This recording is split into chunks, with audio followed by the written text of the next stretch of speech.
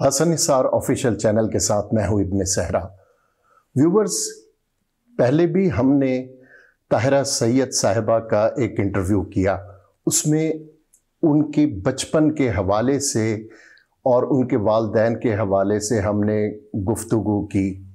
आपकी तरफ़ से रिस्पांस बहुत अच्छा आया तो मैंने सोचा कि ताहरा साहिबा को एक दफ़ा फिर रिक्वेस्ट की जाए कि हमारे साथ एक और नशिस्त रखें जिसमें हम उनकी शादी और उनके बच्चों के हवाले से उनके बच्चों के बचपन के हवाले से कुछ हम गुफ्तगु करेंगे। अस्सलाम वालेकुम। जी। खैरियत से हैं आप? जी अल्लाह का बहुत शुक्रिया। आपने एक बार फिर हमें हम कलाम होने का शर्फ शर्फ बख्शा। वो बातें तेरी वो फसाने तेरे शगुफ्ता शगुफ्ता बहाने तेरे। अब्दुल हमीद अदम का ये कलाम गाकर आपने अमर कर दिया। मेरा ख्याल है जी मेरी वालदा ने अमर किया था क्योंकि पहले वो गा चुकी थी। अच्छा। तो मैंने तो जैसा आपको पहले भी बताया था कि सुर का सफ़र में मेरी कोशिश थी कि मेरी वालदा की गाई हुई चीज़ें जो हैं उनको दोबारा सुनाया जाए लोगों को। और वो बड़ा कामयाब एक्सपेरिमेंट रहा क्योंकि वाकई में उस जनरेशन को नहीं पता था कि उनकी कौन सी चीज़ें नाइनटीन फोर्टीज़ फिफ्टीज़ की गाई हुई थी। हाँ। तो इसलिए मैंने ये उनका दोबारा रिवाइव किया था। बिल्कुल। टीवी ने आपको शोहरत बख्शी। जी। उस वक्त एज क्या थी आपकी? मैं जी चौदह बरस की थी जब पहली दफ़ा टीवी पे आई थी और ये एक स्टूडेंट्स के लिए प्रोग्राम करते थे मोहम्मद इदरीस मरहूम। अच्छा। यूनिवर्सिटी चैलेंज था उसका नाम। तो उसमें वो टैलेंटेड यंगस्टर्स को बुलाते थे और उनसे परफॉर्म करवाते थे। तो उन्होंने मुझे रेडियो पे पहले सुना, एक कंपटीशन था तो वहाँ से फिर उन्होंने मेरी वालदा को कहा कि आप टेलीविज़न पे आएँ इस प्रोग्राम में। तो वो मेरा पहला एक्सपोजर था। तो इसमें कोई बदलाव आया आपकी तबीयत में जब आपको लोग पहचानने लगे ख़ास तौर पर आपके दोस्त वगैरह तो ये वो एक ख़ास किस्म की बंदे में एक आ जाती है कि मैं मशहूर हूँ इनसे और आ, मेरा ख्याल है जी मैं इतनी छोटी उम्र की थी कि वो जब फेम और वो मिला अटेंशन तो मुझे उसकी कोई वो अजीब नहीं लगा मुझे आदत हो गई चौदह अच्छा। साल की बरस से to be in the limelight तो वो नेचुरल सी भी चीज़ थी मेरे लिए। मुझे कोई अपने अंदर कोई फ़र्क नहीं लगा, बल्कि मुझे हैरत होती थी कि ये गाना तो एक आम सी चीज़ है जो कि मैंने वालदा से सीखा है। इसमें मेरा एज सच कोई कमाल नहीं है। तो मुझे शर्मिंदगी ज़्यादा होती थी गरूर कम होता था कि ये इतनी, इतना बिग डील बना रहे हैं एक चीज़ का कि जो, जिसके लिए मुझे कुछ करना भी नहीं पड़ा। बिल्कुल सही है। शादी की उम्र तक आते आते आपकी उम्र क्या थी? मेरी जी तेईस बरस की उम्र थी जब मेरी शादी हुई। अच्छा ये लव मैरिज थी या अरेंज थी या जी दोनों। लव मैरिज थी और आ, मेरी वालदा को नईम बहुत पसंद थे और क्योंकि नईम काम करते थे जफ़र भाई के ऑफ़िस में तो अच्छा। तो मेरी वालदा की उनसे बहुत दोस्ती भी थी और उनको पसंद भी बहुत थे। और यानी पहली पसंद आपकी वालदा की थी? जी बिल्कुल। अच्छा। तो एक तो ये था कि हम क्योंकि सैयद थे तो उस ज़माने में सैयद और लड़कियों की शादी सईदों में ही होती थी। बिल्कुल। तो वो एक तो मेरी वालदा को ये चीज़ अच्छी लगी कि वो भी सैयद थे हम्म। और आ, उनको वैसे भी दोस्ती थी और आपको पता है नई का सेंस ऑफ़ ह्यूमर है और वो तो वो बड़ा इन्जॉय करती थी उनकी कंपनी। तो आ, फिर मैंने ऑफ़िस जब जफ़र भाई का ज्वाइन किया तो ज़ाहिर है मेरी भी आ, उनसे वाकफियत हो गई। तो वहीं पे फिर हमने फैसला किया कि शादी करेंगे। आप में तो बहुत सी ऐसी खूबियाँ हैं जो जिनसे मर्द अट्रैक्ट होते थे उस वक्त अब भी खैर। तो ये बताएँ कि उनमें क्या क्या ऐसी अट्रैक्शन जो पहली आप जब वो कहते हैं कि दिल दे बैठी आप? नहीं फौरी तौर पे तो नहीं दिल दे बैठी काफ़ी देर लगी। मगर नईम की बहुत खूबियाँ हैं। उनका बहुत जो माइंड है बहुत तेज़ है बहुत इंटेलिजेंट है और फिर उनका पर्सनैलिटी बहुत अच्छी थी और बात करना और मज़ाक सेंस ऑफ़ ह्यूमर बहुत अच्छा था। तो वो बहुत अच्छी कंपनी भी थे और इंटेलिजेंट भी बहुत थे और ज़फ़र भाई कहा करते थे कि ये बहुत आगे जाएँगे क्योंकि बहुत इनका माइंड लॉ की तरफ़ बहुत चलता है बहुत अच्छा। तो ये क्वालिटीज़ थी जो कि मुझे अच्छी लगी एंड फिर उसके अलावा वो बहुत एक हैंडसम आदमी भी थे। हम्म। और नेचुरली ये तो अट्रैक्शन होनी होनी थी क्योंकि शक्ल भी अच्छी दिमाग भी अच्छा सेंस ऑफ़ ह्यूमर भी अच्छा इसलिए। अच्छा। तो शादी कितने अरसे बाद एहसास हुआ कि कहीं हम कोई मिसमैच है कोई एक जो देखा था ना जो सोचा था वो हम इन द लॉन्ग रन हम आगे नहीं जा सकते। कब कितना अरसे बाद? ये तो जी मेरा ख्याल है आहिस्ता आहिस्ता एहसास होता है मगर एज सच एंड तक ये मुझे नहीं लगा था कि ये शादी नहीं चल सकती और अच्छा आपको आखिर तक ये था कि नहीं हम इसे चला कर लेंगे चलाएँगे? हाँ। मगर वो फिर एक ऐसा पॉइंट आया कि जब हम दोनों ने आ, सोच लिया कि इससे बेहतर है कि हम अलहदा हो जाएँ और माशाल्लाह बड़ा अच्छा डिसीज़न था क्योंकि उनकी भी ज़िंदगी बहुत अच्छी हो गई मेरी भी बहुत अच्छी रही। तो मेरा ख्याल है कि हमारा आ, फैसला शादी करने का भी बहुत अच्छा था और एक दूसरे को छोड़ने का भी बहुत अच्छा था। अच्छा मेरे गुरु जो हैं हसन निसार साहब वो कहते हैं कि क्योंकि उनकी पहली जो शादी थी वो भी टूटी थी। तो किसी ने इंटरव्यू में उनसे पूछा कि किसका ज़्यादा कसूर था आपका या जो आपकी पहली बेगम थी? तो उन्होंने कहा as a captain of the team मर्द के हवाले से क्योंकि मर्द ही कैप्टन होता है तो मेरा कसूर था। इस जिम्न में आपके हवाले से किसका ज़्यादा कसूर था? किसी का भी नहीं। अच्छा ये हालात का जबर था। जी जी। अच्छा अब टूटे हुए घर में वो कहते हैं कि घर तो टूट जाते हैं जिन जिन घरों ने की किस्मत में टूटना लिखा होता है तो उसके बच्चे उस घर के कभी जुड़ नहीं पाते वैक्यूम कहीं ना कहीं रह जाता है। तो क्या आपके बच्चों में ऐसा कोई देखिए जी आ, मैंने तो देखा है कि जो शख्सियत में कोई जी जी मैंने तो देखा है कि जो आ, कपल आ, बच्चों की खातिर इकट्ठा रहता है हम्म। उनके बच्चे कभी भी आगे नहीं बढ़ते और अच्छा। जिन बच्चों को आप अलहदगी या डिवोर्स में पालते हैं वो बच्चे बहुत जहीन और बहुत कमाल के निकलते हैं जैसे कि मेरे बच्चे हैं। अच्छा। और मेरा घर टूटा नहीं मेरा घर सलामत है अल्लाह के फजल से। आदमी के जाने से घर नहीं टूटता या औरत के जाने से घर नहीं टूटता। घर तो आपने बनाया हुआ है। हम्म। आप एक शख्स चला गया तो उससे घर तो नहीं टूटा। सिंगल पेरेंट की मैं बात कर जी सिंगल पेरेंट तो आप बिल्कुल वैसे डबल पेरेंटिंग से ज़्यादा अच्छा कर सकते हैं। अच्छा। और जो कि मैंने किया, जिसका प्रूफ हमारे सामने है। और माशाल्लाह, मेरे बच्चों जैसा कोई है ही नहीं। और उन जैसा इंटेलिजेंट और कॉन्फिडेंट माशाल्लाह, और दोनों ने बहुत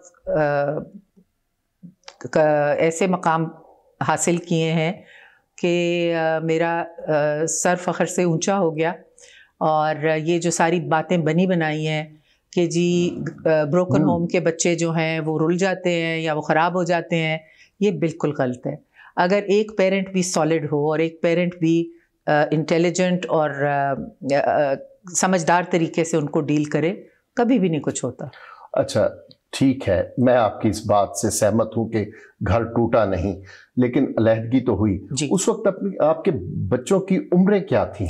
आ, मेरा ख्याल है जी किरण बारह साल की थी और हसनैन तीन साल का था। कुछ इस तरह था। तो एकदम जो ये उन पर उफ्ताद आ पड़ी या ये डिसीज़न जो था तो किस तरह उन्हें बताया गया एतमाद में लिया गया? जी उनको, अब वो उनको महसूस हाँ उनको महसूस नहीं हुआ। क्योंकि नईम अपने काम में बहुत मसरूफ़ होते थे। अच्छा। वो। सुबह जाते थे जब ये लोग स्कूल से पहले चले जाते थे और शाम को वापस आते थे जब इनका सोने का टाइम होता था। तो उनको नहीं पता चला कि उनके वालिद घर छोड़ के चले गए। यानी वो जिस वक्त घर से जाते थे तो बच्चे सो रहे होते थे और घर आते थे तब भी वो बच्चे सोने वाले होते, होते थे। जी जी। तो उनका इतना ज़्यादा घर में इनपुट नहीं था बच्चों के साथ।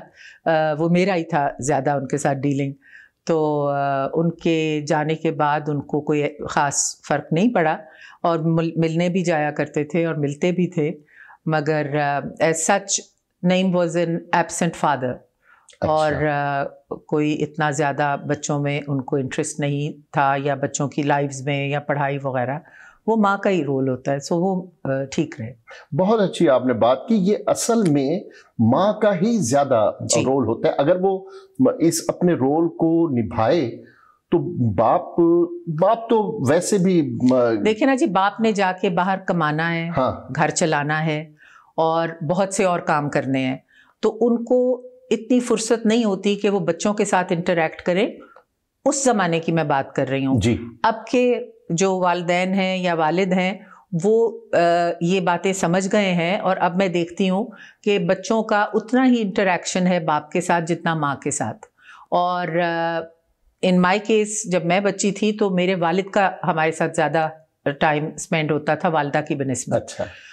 तो आजकल बच्चे जो हैं लड़के जो हैं वो बहुत समझदार हैं और वो बहुत हैंड्स ऑन बाप बनते हैं। हम्म, हम्म।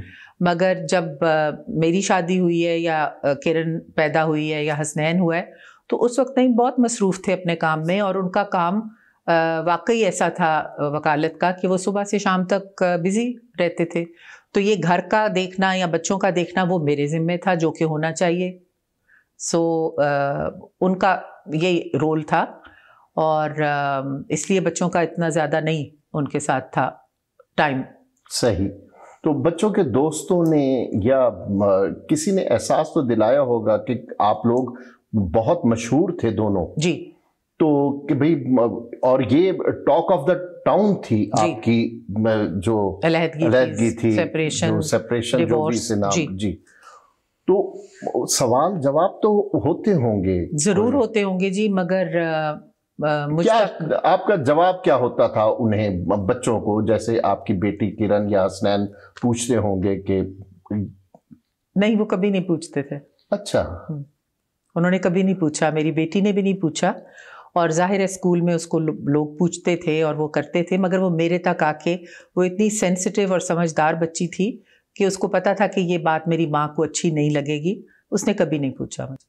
अच्छा बाप के साथ मिलना उनका उनका होता था, था जी। वो हर आ, मेरा ख्याल है तीन चार दिन के बाद जाके मिलते थे और उनके ताल्लुकात कभी बाप के साथ कशीदा नहीं हुए नहीं? कभी भी नहीं। शुक्र अल्हम्दुलिल्लाह। अच्छा क्या आप ये समझती हैं कि अगर आप दोनों इकट्ठे रहते तो ये मैं इसको रिपीट ना समझिएगा सवाल लेकिन ये दूसरे तरीके से कर रहा हूँ कि अगर आप दोनों इकट्ठे होते तो बहुत ज़्यादा उनकी शख्सियत तवाना ना होती मज़बूत ना होती। इससे ज़्यादा मज़बूत नहीं हो सकती जी जितनी ऑलरेडी है माशाल्लाह। और आ, मेरा ख्याल है कि ये आ, जैसा कि मैंने कहा हम दोनों के लिए बहुत अच्छा हुआ। उन्होंने आ, शादी की उनके बच्चे माशाल्लाह हैं और उन्होंने एक बहुत अच्छी ज़िंदगी गुजारनी शुरू कर दी। तो उनके लिए भी बहुत अच्छा हुआ और मेरे लिए और मेरे बच्चों के लिए भी बहुत अच्छा हुआ। अच्छा एक शेर है कि एक मोहब्बत काफ़ी है बाकी उम्र इजाफी है। जी। तो आपने फिर दोबारा शादी की? नहीं या आपको एक ही मोहब्बत काफ़ी हो गई? नहीं शादी एक काफ़ी हो गई। अच्छा मोहब्बत। वो तो आनी जानी चीज़ है जी। बिल्कुल सही है। अच्छा तो आपके बच्चों ने जो तालीम हासिल की इसमें आपने उन्हें कहा कि ये बेटा करो या मेरा ख्याल है उनका खुद दोनों था। दोनों क्योंकि वकील हैं अच्छा, मेरे बच्चे। डिसीज़न उनका अपना। तो उनका अपना डिसीज़न था क्योंकि हमारे सामने बहुत अच्छे एग्जाम्पल्स थे। मेरे बहनोई एस एम जफ़र उनका बेटा सैयद अली जफ़र ये सारे उनके सामने एग्जाम्पल्स थे जिनको वो बहुत एडमायर भी करते थे और मोहब्बत भी करते थे। और फिर नईम भी वकील थे मैंने भी वकालत की हुई थी। तो वो एक नेचुरल सा उनका इंक्लिनेशन था कि वो भी वकील बने। तो उन्होंने माशाल्लाह दोनों ने फिर जाके वकालत की और वकील ही हैं अभी भी काम कर रहे हैं। जी तो जब बच्चों की शादी का वक्त आया उनके रिश्तों का तो उस वक्त आपका डिसीज़न था या इसमें आप दोनों का बुखारी साहब का और आपका? नहीं जी उसमें कोई डिसीज़न किसी का नहीं था बच्चों का अपना डिसीज़न था। उनको जो पसंद था उनसे उन्होंने शादियाँ की और हम बड़े खुश थे कि उन्होंने खुद ढूंढ लिए अपने मैच। और अच्छा। हमें हमें कोई तकलीफ़ नहीं करनी पड़ी। अच्छा। अब आपकी बेटी के कितने बच्चे हैं और बेटे के कितने बच्चे हैं? अब हम आपके बच्चों के बच्चों की तरफ़ आ जाते मेरी हैं। मेरी बेटी के जी दो बच्चे हैं दोनों लड़के हैं। एक नौ साल का है एक पाँच साल का है। और मेरे बेटे की माशाल्लाह दो बेटियाँ हैं और एक छः साल की है एक डेढ़ साल की है। तो वो कहते हैं कि असल से सूद ज़्यादा प्यारा लगता है।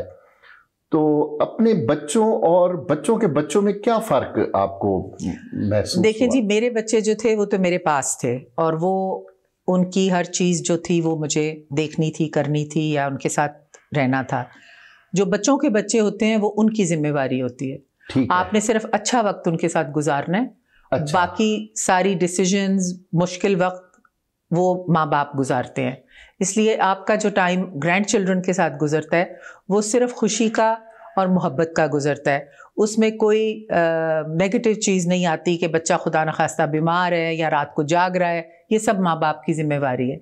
इसलिए मैं बहुत इन्जॉय करती हूँ अपने ग्रैंड चिल्ड्रन क्योंकि जिम्मेवारी मेरी नहीं है। जिम्मेवारी नहीं है सिर्फ़ मोहब्बत है प्यार है शफकत है जी। और अपनाइत का एक माहौल है। अच्छा जो आपके आप दोनों के बच्चों के बच्चे हैं तो वो अपने दादा से उनका आप तो दादी या नानी है वो दादा और नाना भी हैं जी जी। नहीं बुखारी साहब। जी। तो उनके साथ कोई इंटरेक्शन है? जी जी बिल्कुल वो आते हैं वो मिलते हैं और मेरा ख्याल है उनके भी यही फीलिंग्स होंगी जो मेरी हैं। और जैसे हर ग्रैंड फादर या ग्रैंड मदर के होते हैं और वो उन बच्चों के साथ मिलते रहते हैं। अच्छा अब हम थोड़ा सा इसको अपने मुल्की हालात के हवाले से एक दो मैं बातें करना चाहूँगा जी। कि आपके बच्चे दोनों मुल्क से बाहर रहते हैं। तो ये उनका अपना डिसीज़न है या अपना डिसीज़न है। क्या वजह है कि उन्हें ये मुल्क पसंद नहीं है या इसके हालात से वो? देखिए जी मैं बहुत खुश हूँ कि वो दोनों यहाँ नहीं है। अच्छा। और उसकी वजह भी बताइएगा। जी उसकी वजह ये है कि उनके लेवल का यहाँ पे कोई आ, वो नहीं है काम। मेरी अच्छा। मेरी बेटी जब गई थी हार्वर्ड पढ़ने तो उसके बाद उसको न्यूयॉर्क में नौकरी मिल गई थी। ठीक है। और वो तब से वही है। और जिस लेवल की वो मुलाजमत है या जिस लेवल का वो उनकी कंपनी या ऑफ़िस है वो वहीं पे हो सकता है हम्म। दूसरी बात ये कि यहाँ पे आके उनको ये सारी चीज़ों से निपटना पड़ेगा जैसे कि लाइट नहीं आ रही पेट्रोल नहीं मिल रहा गैस की शॉर्टेज है गैस की शॉर्टेज हो गई डेंगी हो गया ये सारी चीज़ें उनको यहाँ पे मिलेंगी। आलूदगी का ये आलम है कि हर कोई बीमार हो रहा है। बिल्कुल तो और ये लाहौर तो अब फिर सर मैं क्यों चाहूँगी कि वो आके यहाँ पे सफ़र करें? मैं भी खुद आती हूँ छः महीने के लिए अच्छा। और चली जाती हूँ वापस मगर मैं बहुत खुश हूँ कि वो दोनों बाहर हैं। अच्छा इसका मतलब है नियर फ्यूचर और फॉर फ्यूचर में भी उनका आने का कोई वो नहीं है। इनशाला आप इस मुल्क के हालात से नाउमीद हैं। बहुत ज़्यादा। उसकी वजह आप अखबार पढ़ लें आप टीवी देख लें आपको पता चल नहीं, जाएगा। जिस दिन आप चंद दिन टीवी ना देखें अखबार ना पढ़ें तो मेरा ख्याल है इतना तो वो नहीं है कोई खुदा ना खासा कोई इतना तूफ़ान तो नहीं आया हुआ। इससे ज़्यादा तूफ़ान क्या आएगा जी के मुल्क जो है वो बैंक के एज पे है। और आ, मतलब डॉलर की कीमत आप देख लें ये सारी चीज़ें आपको पता है कैसी हैं। आप मेरे मुझसे क्यों कहलवाना चाहते हैं आप बताएँ। नहीं उसमें बिल्कुल इस पर डिबेट हो सकती है लेकिन जो अब इलेक्शन इमरान खान मांग रहे हैं तो इसका उससे हालात ठीक हो जाएँगे। अगर इमरान खान दोबारा बरसर इकतदार आ जी बिल्कुल हो सकता है क्योंकि इमरान ही एक मेरा ख्याल है इस मुल्क की उम्मीद है और हम सब की उम्मीदें उनसे वाबस्ता हैं। क्योंकि एक मेरा ख्याल वाहिद शख्स हैं जो करप्शन के ख़िलाफ़ हैं और खुद भी उन्होंने कभी करप्शन नहीं की। नहीं उन्होंने करप्शन नहीं की लेकिन उनकी काबीना का कौन सा ऐसा वज़ीर है जो दूध का धुला हो? कहाँ से लाए? आप मुझे बताएँ कोई इंपोर्ट करें या कोई बुत बना के उसको जान डाल दें उसमें? कहाँ से आए ऑनेस्ट करप्शन तो रुकी नहीं ना। नहीं रुकी मगर खिलाफ तो थे ना। जी। वीआईपी कल्चर के खिलाफ थे करप्शन के खिलाफ थे। उनके अंदर ये जज्बा तो है ना। देखें ये जो मेडिकल कार्ड था ये कितनी बड़ी बात बिल्कुल थी सही है। मैं इतनी खुश हूँ इस बात पे कि जी हमारे जो मुलाजिम हैं या जो गरीब लोग हैं वो जाके अपना इलाज करवा सकते हैं। और द... क्या हो सकती है? सबसे बड़ी एक जो अजाब इलाही है वो हमारे ब, ये इस तबके की है कि वो जाके इलाज के लिए पैसे नहीं होते उनके पास। उनको घर बेचना पड़ता है या मोटरसाइकिल जो मर्ज़ी। बिल्कुल। तो वो सोचें कि कितनी बड़ी चीज़ है। एक वो चीज़ वाहिद ही ले लें। तो वो आज तक किसी ने नहीं की। आज तक ये हुआ है पाकिस्तान में। तो एक बंदा जो अच्छी चीज़ करने की कोशिश कर रहा है हम्म। उसको कम अज कम हमें अप्रिशिएट तो करना चाहिए। गलतियाँ तो सबसे होती हैं और होंगी। ठीक है। वो कहाँ से लाए काबीना? मुझे बताएँ वो कौन सा इंसान है पाकिस्तान में जिसको वो लाएँगे और वो दूध से दुल्हा होगा? कोई भी नहीं है। बिल्कुल सही है। या जिनको वोट मिलते हैं या जो इलेक्ट होते हैं वो कौन से लोग हैं? आप भी जानते हैं मैं भी जानती हूँ। तो ये सिस्टम इमरान को दोबारा आने देगा? देखिए अगर इलेक्शन जीतेगा तो क्यों नहीं आने देगा? अभी तो इलेक्शन वो नहीं दे रहे बिल्कुल नहीं दे रहे वो जब वो तो कहती हैं एक साल आगे असम्बलियाँ हो जाएँगी।